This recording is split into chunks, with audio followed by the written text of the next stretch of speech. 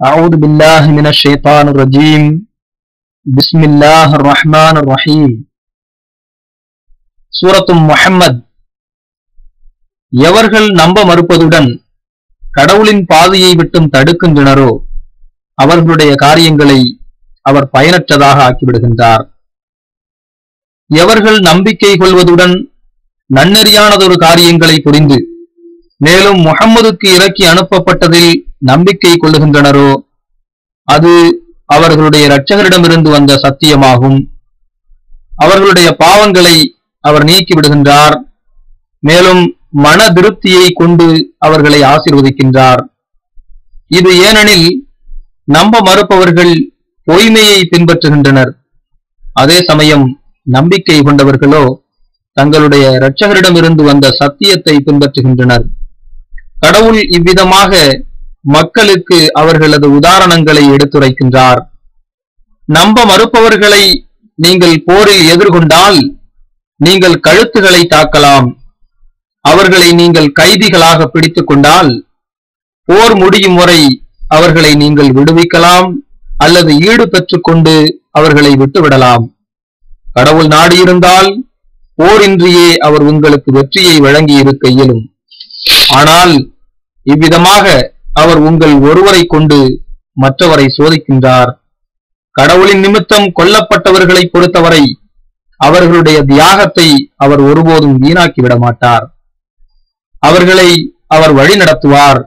மேலும் மன திருப்தி கொண்டு அவர்களை ஆசிர்வதிப்பார். அவர்களுக்கு அவர் வர்ணித்திருக்கின்ற சுவனத்தில் நுழைய அவர்களை அவர் அனுமதிப்பார். நம்பிக்கை கொண்டோரே உங்களைத்தான். கடவுளுக்கு நீங்கள் ஆதரவளித்தால் அவர் உங்களுக்கு ஆதரவளிப்பார். மேலும் உங்களுடைய நிலைகளை பலப்படுத்துவார். நம்ப மறுப்பவர்கள் துன்பத்திற்கு உள்ளாகின்றனர். அவர்களுடைய காரியங்களை அவர் முற்றிலும் வீணானதாக ஆக்கிவிடுகின்றார். இது ஏனெனில் அவர்கள் கடவுளின் வெளி கடவுள் வெளிப்படுத்தியவற்றை வெறுத்தனர். மேலும் அதன் விளைவாக அவர்களுடைய காரியங்களை அவர் பயனற்றதாக ஆக்கிவிடுகின்றார். பூமியில் சுற்றித் திரிந்து அவர்களுக்கு முன்னிருந்தவர்களுக்கு நேர்ந்த பின் விளைவுகளை அவர்கள் பார்க்கவில்லையா? கடவுள் அவர்களுடைய காரியங்களை நாசமாக ஆக்கினார் நம்ப மறுப்பவர்கள் அனைவரும் இதே விதியைத்தான் அனுபவிப்பார்கள். இது ஏனெனில் நம்பிக்கை கொண்டவர்களின் இரட்சகராக கடவுள் இருக்கின்றார். அதே சமயம் நம்ப மறுப்பவர்களுக்கோ இரட்சகர் இல்லை. நம்பிக்கை கொண்டு நன்னறியானதொரு வாழ்வு நடத்துபவர்களை ஆறுகள் பாயும் தோட்டங்களுக்குள் கடவுள் அனுமதிக்கின்றார். நம்ப மறுப்பவர்களை பொறுத்தவரை அவர்கள் வாழ்ந்து கொண்டும் மிருகங்களைப் போன்று தின்று கொண்டும் இருக்கின்றனர். பின்னர் நரக நெருப்பை சென்றடைவார்கள். உம்முடைய நகரத்தை விட்டு உண்மை வெளி உம்மை வெளியேற்றிய சமூகத்தை விட மிக வலிமையாக எத்தனையோ ஒரு சமூகம் இருந்தது. நாம் அவர்களை அழித்தொழித்தோம். அப்போது எவர் ஒருவரும் அவர்களுக்கு உதவ இயலவில்லை. தங்களுடைய இரட்சகரால் அறிவூட்ட பெற்றவர்களும் எவர்களுடைய தீய காரியங்கள் அவர்களுடைய கண்களுக்கு அழகாக்கப்பட்டு தங்களுடைய சுய அபிப்பிராயங்களை பின்பற்றுகின்றனரோ அவர்களும் ஒப்பானவர்களாவார்களா? நன்னறியாளர்களுக்கு வாக்களிக்கப்பட்டுள்ள சுவனத்தின் உவமானம் இதுவாகும். அதில் மாசற்ற நீரை கொண்ட நதிகளும் மேலும் புத்தம் புதிய பாலாறுகளும் மது ஆறுகளும் அருந்துபவர்களுக்கு மதுரமானது. வடிகட்டப்பட்ட தேனாறுகளும் உள்ளன. அதிலே அனைத்து கனி வர்க்கங்களும் அவர்களுடைய இரட்சகரின் மன்னிப்பும் அவர்களுக்கு கிடைக்கும். அவர்கள் மேலானவர்களா? அல்லது நரக நெருப்பில் எங்கென்றும் தங்கியிருந்து மேலும் அவர்களுடைய குடல்களை கிழித்து விடுகின்ற நரக நீரை அருந்துகின்றவர்களா? அவர்களில் சிலர் உம்மை கவனத்துடன் செவியேற்கின்றனர். பின்னர் அவர்கள் விலகிச் சென்றவுடன் அறிவூட்ட பெற்றவர்களிடம் அவர்கள் கேட்கின்றனர் அவர் இப்போது என்ன கூறினார்? கடவுள் இவ்விதமாக அவர்களுடைய இதயங்களில் முத்திரையிட்டு விடுகின்றார் மேலும் அதன் விளைவாக அவர்கள் தங்களுடைய அபிப்பிராயங்களை மட்டுமே பின்பற்றுகின்றார்கள். வழிகாட்டலை பெற்றவர்களை பொறுத்தவரை அவர்களுடைய வழிகாட்டலை அவர் அதிகரிக்கின்றார். மேலும் அவர்களுடைய நன்னெறியை அவர்களுக்கு வழங்குகின்றார். வேலை அவர்களிடம் திடீரென வரும் வரை அவர்கள் காத்திருக்கின்றனரா? அவர்களுக்குரிய அடையாளங்கள் அனைத்தும் ஏற்கனவே வந்துவிட்டன.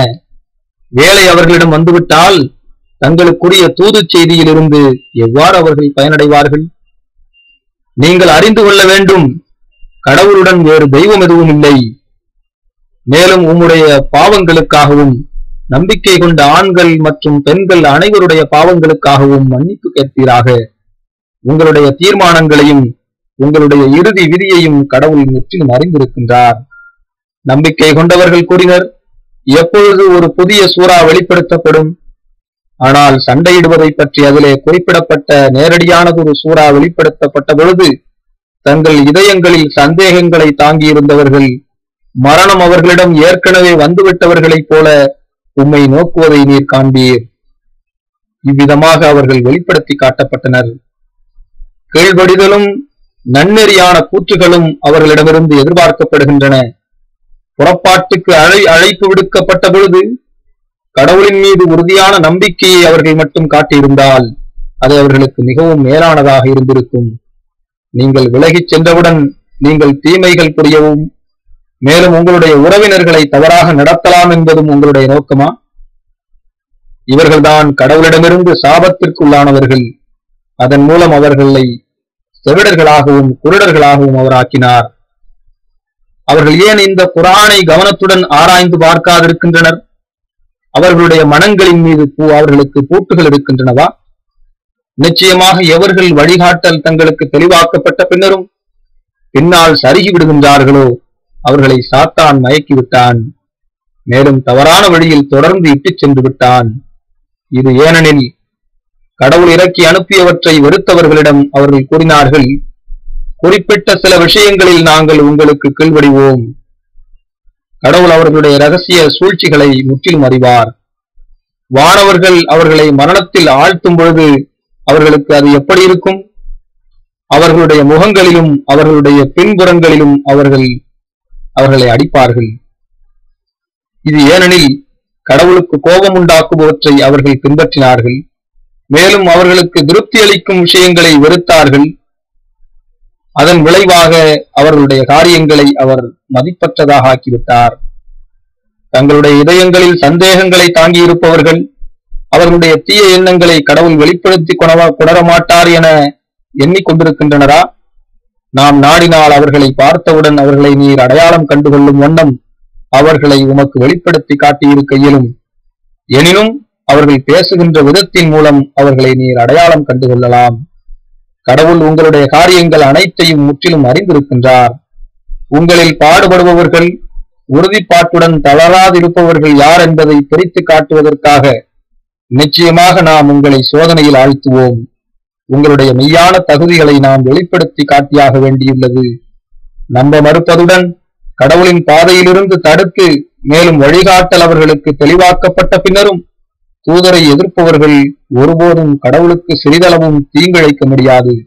மாறாக அவர்களுடைய காரியங்களை அவர் பயனற்றதாக ஆக்கிவிடுகின்றார்.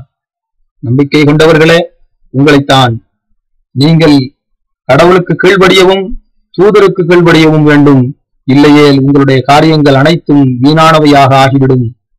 எவர்கள் நம்ப மறுப்பதுடன் கடவுளின் பாதையிலிருந்தும் தடுத்து பின்னர் நம்ப மறுப்பவர்களாகவே இறந்து விடுகின்றனரோ அவர்களை கடவுள் ஒருபோதும் மன்னிக்க மாட்டார். எனவே நீங்கள் தடுமாற்றமடைந்து சமாதானத்தை தேடி சரணடையாதிருக்க வேண்டும். ஏனெனில் வெற்றிக்கு நீங்கள் உத்தரவாதம் அளிக்கப்பட்டுள்ளீர்கள். மேலும் கடவுள் உங்களுடன் இருக்கின்றார். ஒருபோதும் உங்களுடைய உழைப்பு உழைப்பை அவர் வீணாக்கி விட மாட்டார் இந்த உலக வாழ்வு விளையாட்ட விளையாட்டும் வீணும் என்பதை விட அதிகம் எதுவும் இல்லை. ஆனால் நீங்கள் நம்பிக்கை கொண்டு நன்னறியானதொரு வாழ்வு நடத்தினால் உங்களிடம் பணம் எதுவும் கேட்காமல் அவர் உங்களுக்கு வெகுமதி அளிப்பார். உங்களுக்கு ஒரு கஷ்டத்தை உண்டாக்கும் அளவுக்கு அவர் உங்களிடம் பணம் கேட்டிருந்தால் நீங்கள் கஞ்சலர்களாகி இருக்கக்கூடும். மேலும் மறைக்கப்பட்டிருக்கின்ற உங்களுடைய தீயவை வெளிப்பட்டிருக்கக்கூடும். கடவுளின் நிமித்தம் செலவு செய்யுமாறு அழைக்கப்படுகின்றவர்களாக நீங்கள் இருக்கின்றீர்கள். ஆனால் உங்களில் சிலர் கஞ்சர்களாக மாறிவிடுகின்றீர்கள். கஞ்சர்கள் தங்களுடைய சொந்த ஆன்மாவுக்கு ஆன்மாக்களின்பாலே கஞ்சத்தனம் கொண்டவர்களாக இருக்கின்றனர். கடவுள் செல்வந்தராக இருக்கின்றார். அதே சமயம் நீங்களோ ஏழையாக உள்ளீர்கள். நீங்கள் திரும்பிச் சென்று விட்டால் உங்களுடைய இடத்தில் மற்ற மனிதர்களை அவர் மாற்றி அமைத்து விடுவார். மேலும் அவர்கள் உங்களைப் போன்று இருக்க மாட்டார்கள்.